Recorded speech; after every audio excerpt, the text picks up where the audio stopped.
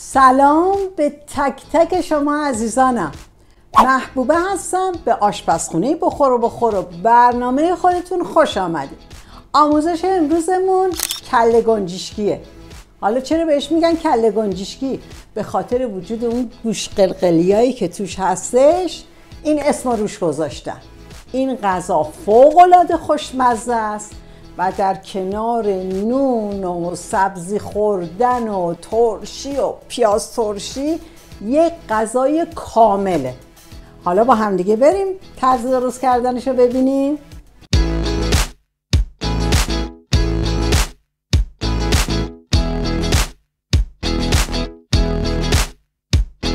برای درست کردن این غذا احتیاج داریم به 300 گرم گوشت چرخ کرده و پیاز تقریبا در حدود 150 گرم که من اینو رندش می‌کنم بعد آبش رو می‌گیرم میریزم توی گوشت.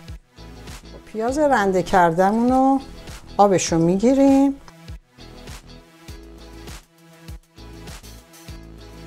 و اضافه می‌کنیم به گوشتمون. به مقدار کافی نمک می‌زنیم به گوشتمون. و گوشتمون رو ورز میدیم تنها با نمک و پیاز که خوب چسبندگی پیدا کنه. تا وقتی اینو چنگش می‌زنیم که اطمینان پیدا کنیم گوشتمون حالت چسبندگیشو پیدا کرده. گوشتمون به اندازه کافی ورز خورد و چسبندگیش خوب شده. حالا به اندازه کافی بهش فلفل می‌زنیم. زردچوبه یک قاشق سوپخوری داریم. که نصفشو من تو این میریزم نصفش هم می‌خوام تو آبش بریزم. بعد دوباره چنگش می‌زنم.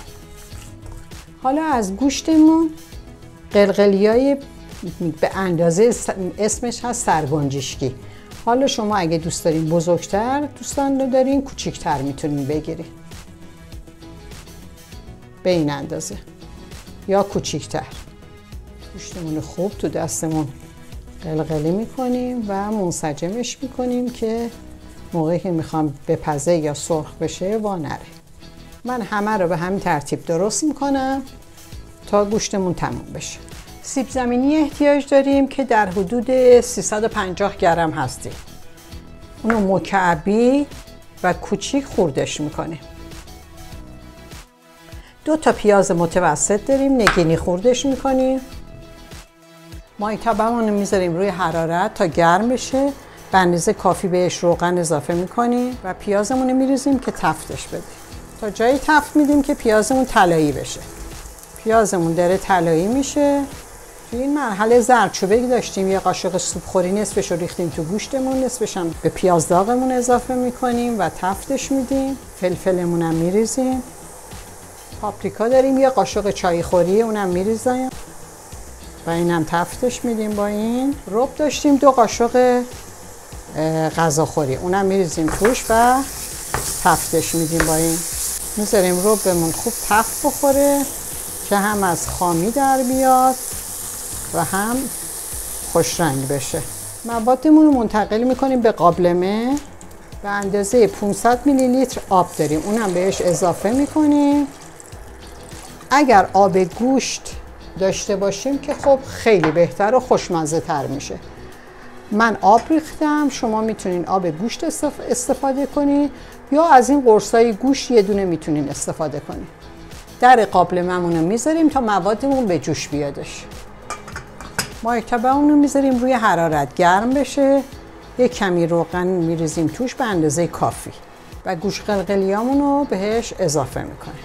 و می‌ذاریم که گوش قلقلیا تمام طرفش سرخ بشه. خیلی آروم. گوش قلقلیامون رو این رو اون رو می‌کنیم.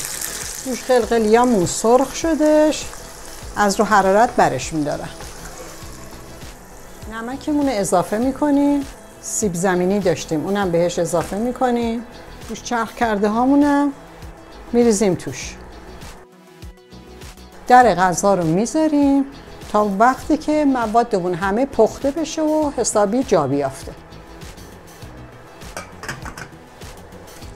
خوراک کله گنجشکی ما هم پختش آماده شده.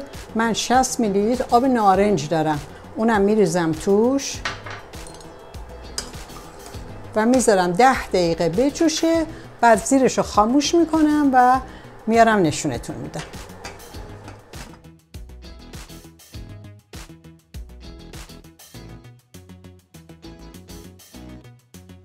کل گنجشکی خوشمزه ما هم آماده شدش امیدوارم شما هم خوشتون بیاد و در کنار شور و پیاز ترشی و ترشی نوش جونتون کنین و لذتشو ببرین.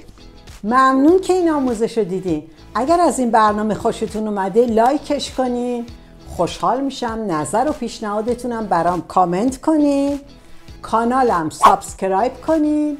زنگولشم بزنین که اگر یه ویدیوی جدید اومد زود و تند و سریع با خبر تا یه برنامه دیگه یه بخور بخور خوشمزه دیگه همه رو به خدای بزرگ میسپارم.